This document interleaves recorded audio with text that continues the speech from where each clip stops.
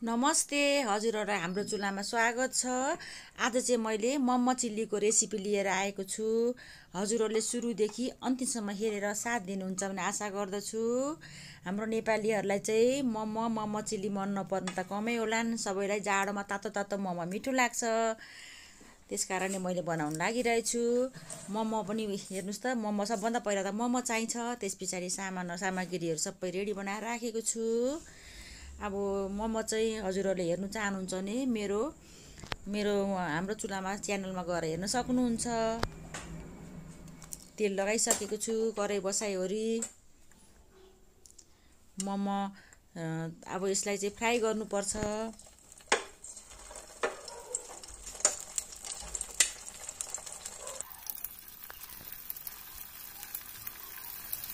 सुरुमा चाहिँ मजाले फ्राई गर्नुपर्छ मोमोलाई तेल निकै लगाएर। चाहिँ सनफ्लावर तेलमै राम्रो हुन्छ फ्राई गर्नको लागि चाहिँ।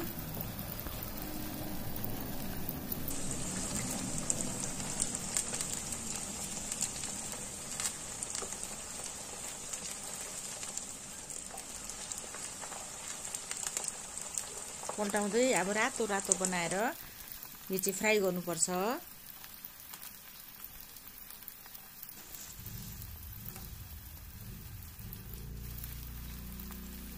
मोमो चाहिँ मोमो चाहिँ प्रायः सबैलाई मनपर्छ। केटाकेटी बुढाबुढी जवानी सबैलाई नै मोमो चाहिँ मिठो लाग्छ। हाम्रो नेपालीहरूको लागि चाहिँ मोमो चाहिँ असाध्यै मिठो हुन्छ खाजाको लागि। र हेर्नुहोस् त रातो भइसक्यो तयारी। म अब हेर्दै भइसकेकोलाई निकाल्दैछु तेलबाट बाहिर।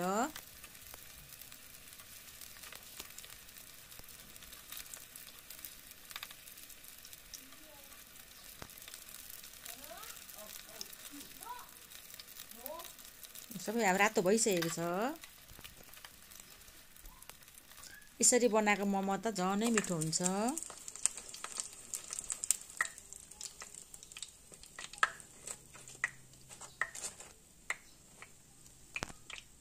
ल हेर्नुहोस् त कस्तो राम्रो भएको छ।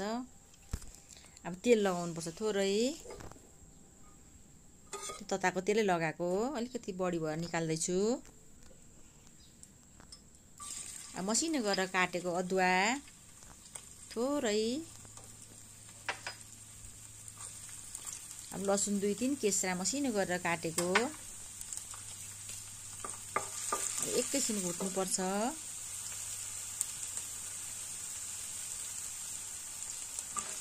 अब प्याज काटेको छु मैले चाहिँ दुईवटा प्याजलाई चाहिँ पत्र पत्र छुट्याएर त्यति काटेको छु। खोर्सानी लगाएको छु मैले एउटा। हजुरहरू कतिको पिरो खानुहुन्छ त्यही अनुसार लगाउनु होला। क्याप्सिकम लगाएको छु मैले एउटा।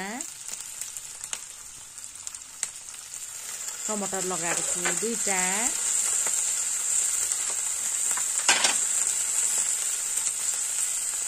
नुन स्वाद अनुसार।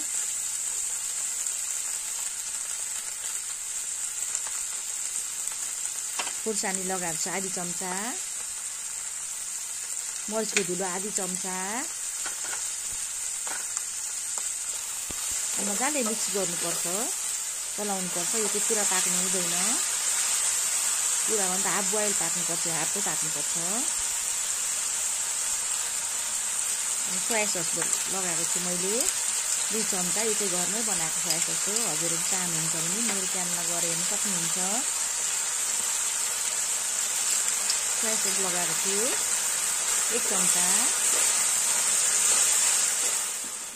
मजाले मिक्स गर्नुपर्छ अब।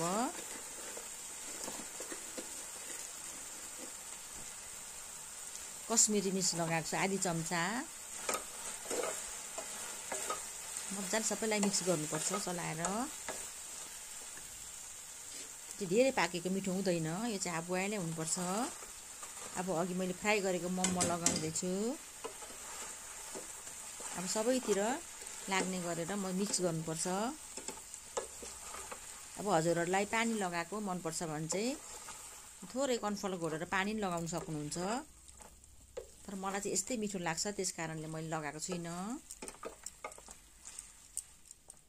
ल हेर्नुहोस् त। तयारी भइसक्यो। अब हजुरहरूलाई म मिठो सिमम को रेसिपी देखाउँदैछु। हजुरहरूले चाहिँ सुरुदेखि अन्त्यसम्म हेरिदिनु होला।